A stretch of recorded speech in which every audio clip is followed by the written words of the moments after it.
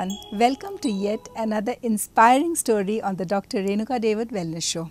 Many of us graduate, postgraduate, and hold on jobs related to what we studied or absolutely not related to what we studied.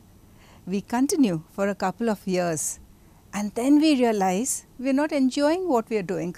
We in fact start hating our jobs and then decide to do something which is more passionate to your calling.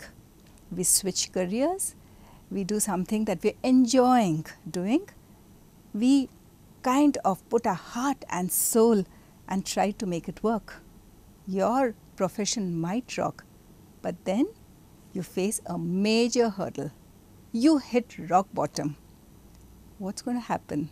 How are you going to deal with that? Well, today my guest is Anju Shankar. She's a graduate in fine arts, art history, and designing.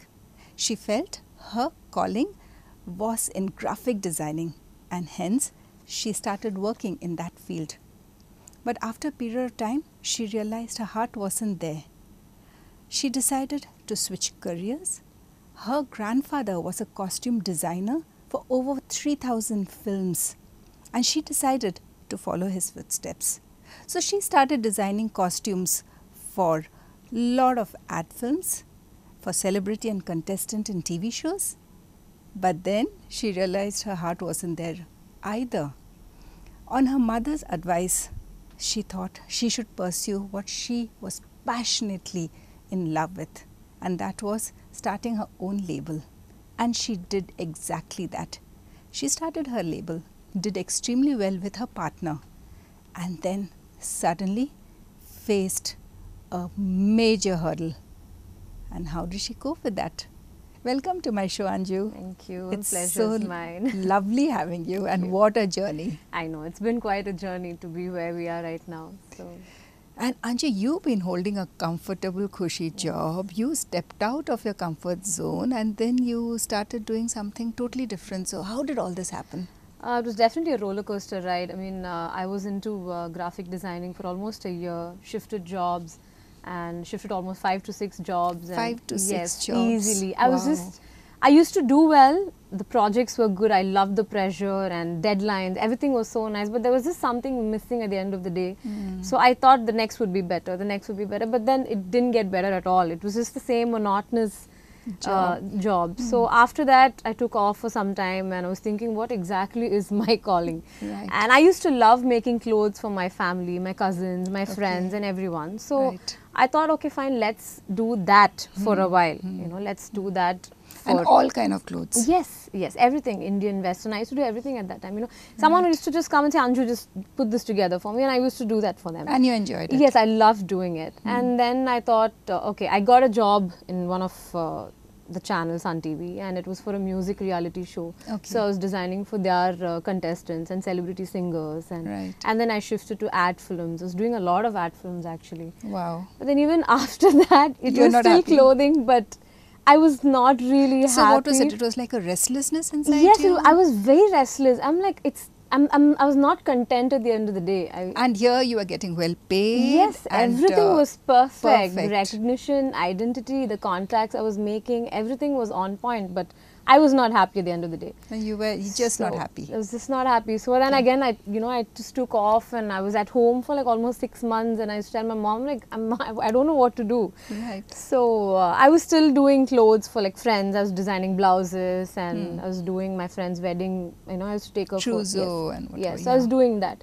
And then one fine day, my mom said, you know, why don't you start your own unit? Why don't you set up a unit and Hmm. make clothes and sell it for other people? Hmm. Like what you're doing for your family and friends, do it, you know, Professionally. professionally. Why don't you hmm. do that? And Take it as a career. Yes, take it as a career. You know, start hmm. your own label, have your own brand, and that really struck a chord in my mind. I thought, hmm. okay, fine. That, that- I don't know. The second my mom mentioned that to me, it hmm. was like life changing. Hmm. So I thought, okay, let's see where it goes. Let's see how to set it up. And that's when I was discussing about this to my friend Sujata. She's my partner. Right. So we were best friends. Right. So and she was also interested in getting into clothing and set it up. And I said, okay, let's partner and let's start something and let's set it up. And you started with one tailor. Just one tailor. There was a small room in my house, like in the ground floor. So we thought, let's just start because we didn't want any major investment and, And you then it know how it's going backfiring. to go yes, also. exactly. Because this is new. Hmm. And six years back, startups were just coming. Yeah, you know, it's like it's not how it is right now. Right. So it was just a small room with one tailor. He is still with me. Okay. So just one tailor, and we thought let's just design a set of saris to start off with, just about 30 designs, and put it up online and see how it goes. So that was when Facebook was really picking up with regards to customer base and business and stuff. So at that time there were only two brands that were selling on Facebook, mine and one more. So uh, the first collection did so well, and the first collection itself spread abroad to US, to uh, Canada, to Dubai. I had so many customers from all over the world with my first collection itself. Wow. So that really gave us a good boost, you know, saying, mm. okay, we are on the right track. Now let's just see how we're going to expand it.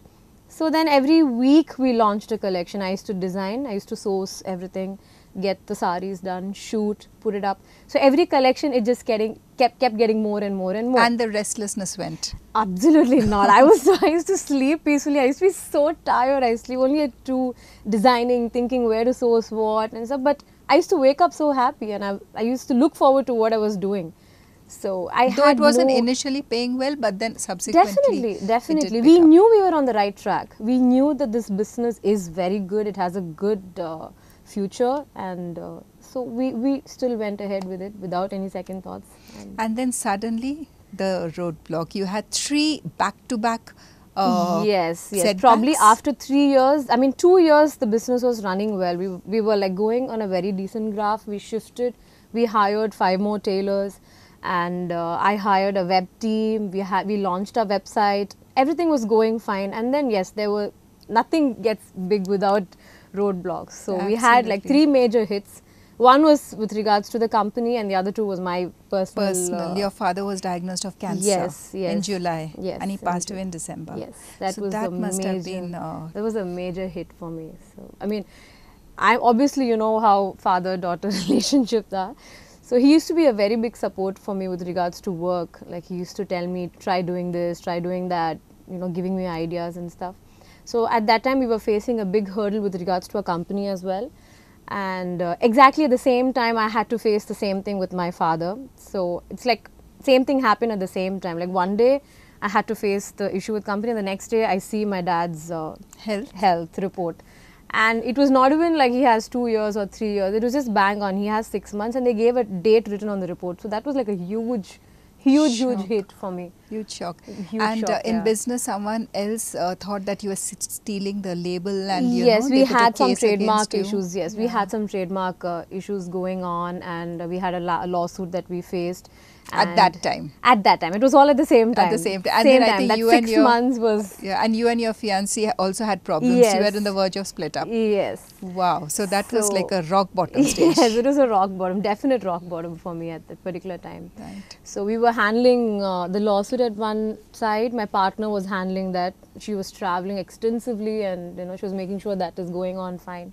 And I was taking care of things over here, and uh, I had to spend time with my father because he didn't have much time. So I used to go, I used to work, I used to come back, be with him, and I just, I just did that. I was like a machine that particular six months. So, Just. And then, in spite of all that, all these roadblocks, she faced this lawsuit, which nearly closed her company. After this very short break, we're going to learn more about this terrible road roadblock and how she dealt with it.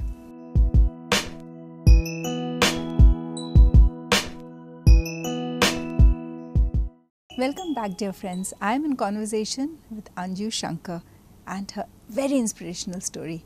So, Anju, that was rock bottom. Yes. And now tell me, tell me about this a little bit about this lawsuit. So, once this thing happened, what was it about? I mean, like uh, you were doing so well, and suddenly someone comes and tells you that you're not supposed to, you know, use the same name. And why didn't you then just say that, okay, I'll I'll just change my name. What made you, uh, you know, continue, or what was the force that wanted you to say no? This is what I stood for, and this is going to be mine. Uh, we were very attached to our brand name, number one. So uh, when someone came and said uh, the name is the same and you can't continue, and we thought, okay, let's let's fight more and we'll go ahead and see where it goes. And uh, my partner was very very motivating with regards to this. And uh, we just wanted to give it a shot. We didn't want to give up. We wanted to see where where is it taking us. Let's just fight till we can. So i think that's what made us go forward determined.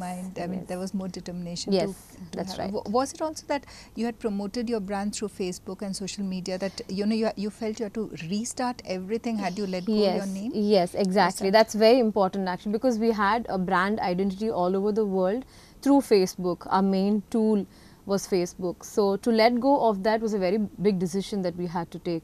So I think that also made us, uh, you know, fight and uh, go forward and not give up on uh, the brand name, the branding itself.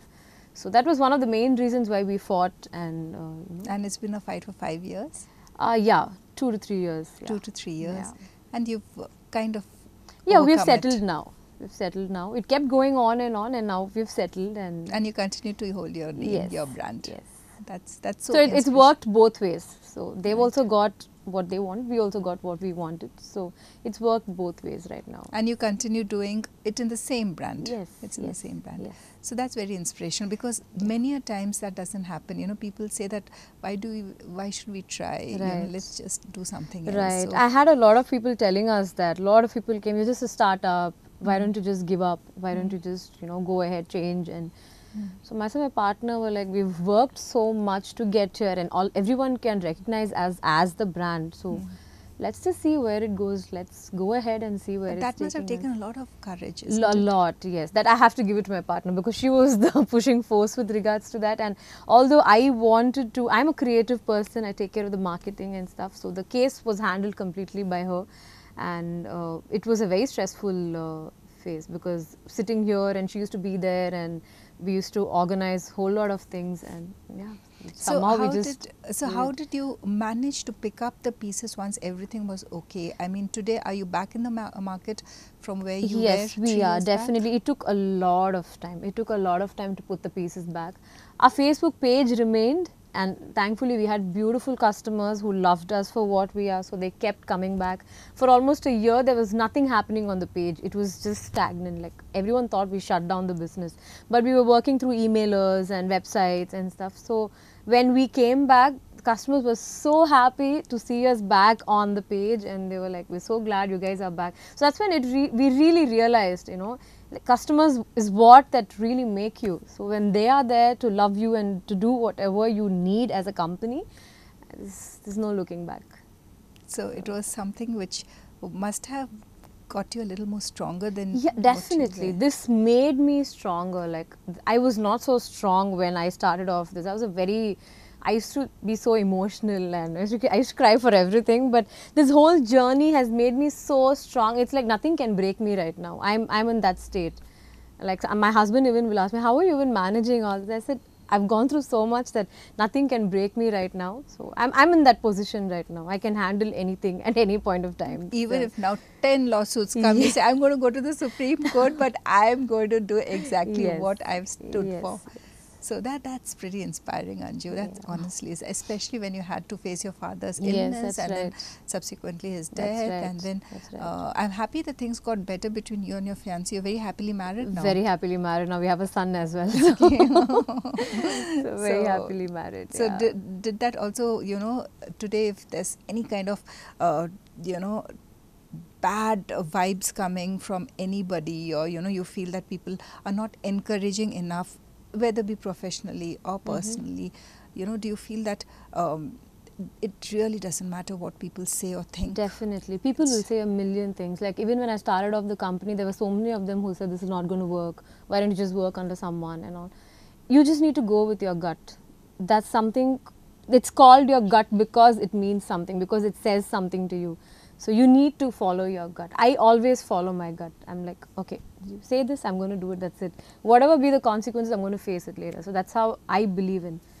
So people will say a million things. People will say, don't do this, don't do that. But you need to believe in yourself with whatever you do. Believe in yourself, pursue your passion with determination, and let any challenge come, the ability to fight back, Yes, get up and very fight important. back. Yes. Amazing, Anju. Yes. So after, so we're going to continue after this very short break to hear more about what else is Anju facing and the lessons that she's learned from this ordeal. Stay tuned.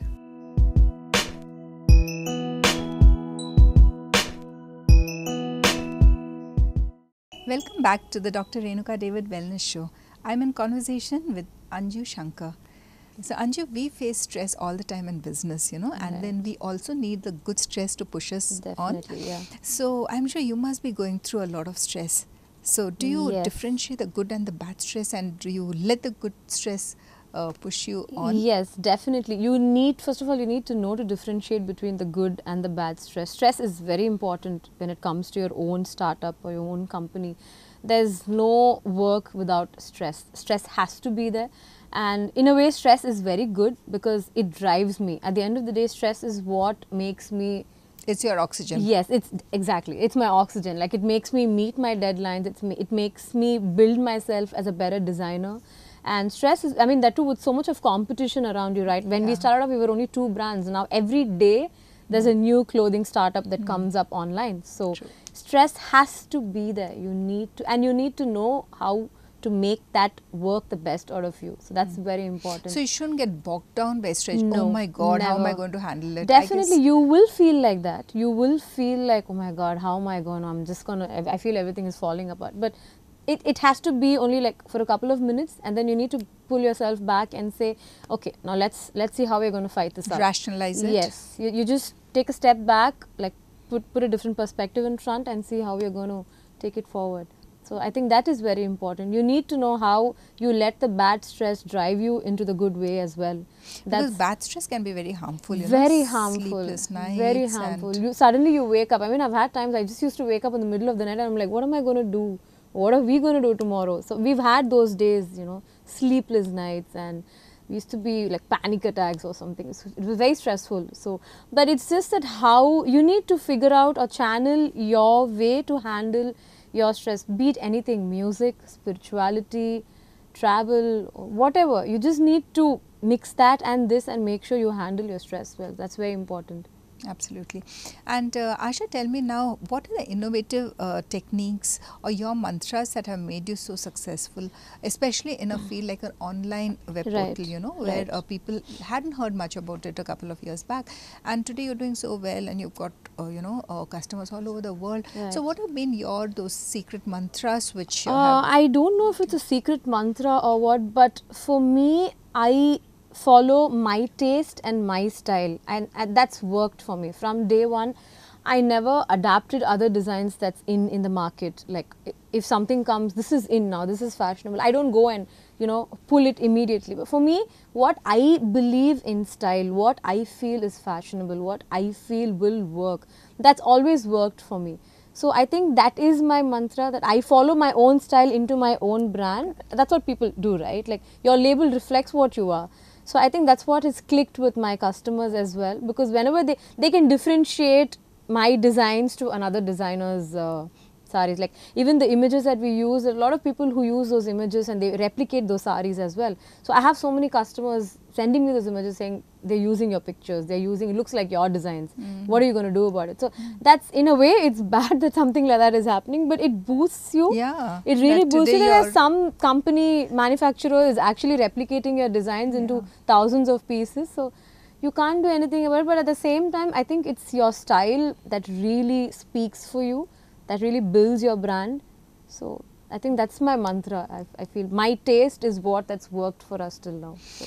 Anju, I've also seen many women, especially, you know, just because a, a celebrity looks good in a particular dress, or maybe her friend or a family look or relative is looking good in a particular dress, Mhm. that person assumes that she must buy that dress or, you know, she must have that dress, uh, sure that it's going to suit her. Yes. But it actually never works that way. it way. doesn't work never like works. that for all you see whatever the celebrities wear will not look good on a normal person because they have like a team of 10 people working on them so i have so many customers who come to me showing a picture saying just replicate the same. Hmm. first of all we don't replicate. So i sit and talk to my customer. I said you could probably work around like this. You know you can tweak it like this for Hmm. Your, your body body, yes. Your to your body type. body this might look nice. This wouldn't work. So that's very important for a designer to understand what would look nice on the particular structure. So, so you need to sit and talk to them. Because there are many people I know who say, no, no, no, no, this color will not suit my complexion. No, No, I I must don't stick to believe this in that. color. I don't So believe you in must, I guess, you must be encouraging yes, uh, people yes, who are, yes. you know. For me, colors are very inspiring. I love colors. If you just see my collection, it's very colorful, vibrant. I like to use everything on the palette. So that's how that's my style. So when someone comes and tells this color wouldn't look good on me, I'll make them sit. I'll talk to them for 15 minutes, saying, "Color has nothing to do. It's just how you pull it off. It's your personality that off, matters. yeah, yes. yeah. Like a, a dusky person can pull off a really bright color. So Hmm. it's not like you know colors really. It, Yeah. It's just so you, mind. you instill that confidence in them. Yes, that I have to, You I have, have to carry. yes. You need not dress up like Yes. a Deepika Padukone Yes, or anyone. yes, yes. You just have to be yourself. Yes, yourself, what will look nice on you. Mainly, you need to be confident. Hmm. You need to feel comfortable. Your outfit should be your second skin. It shouldn't be like something else sticking on to you. Yeah. Absolutely. So Anju, you were in a very cushy job, and you just uh, decided one day to step down and you know do something uh, you're passionately in love with, probably Right. by little coaxing uh, by your mother who recognizes restlessness in you. Uh, but n- not many people would do that. You know, they would say, "No, this is my life. I'm happy doing what I'm. Even if I'm not happy, it's okay. But then Mm. uh, at least this is what." Puts my bread on the table but uh, during your journey what has this taught you you know pursuing your passion as a career Pursuing your passion, yes, you need to be very strong about what you need to be really headstrong, saying this is what I want. Yes, it takes a lot of time for a few people to realize that. It takes a lot of courage to pursue that as well.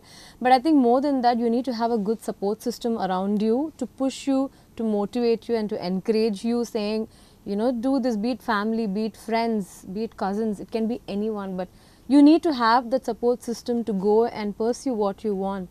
And i think most of my friends whoever i've met they've all you know shine brighter because they have an amazing support system like their Support family or friends that's that's very important. And maybe And- you did a pilot project in terms of, you know, with one machine, you did a couple of saris and then you put it online and that worked and then slowly, organically you grew. yes So yes. that pilot project, I think, was yes definitely. important. it was definitely an organic uh, growth. I mean you really you really need to work hard and you need to wait patience is very very important. Like it's not like you start something in the next 6 months you're there. So you need to really work hard give it more time be patient have faith in what you're doing. That's very important. Anything can crush you but you need to have faith in your skill.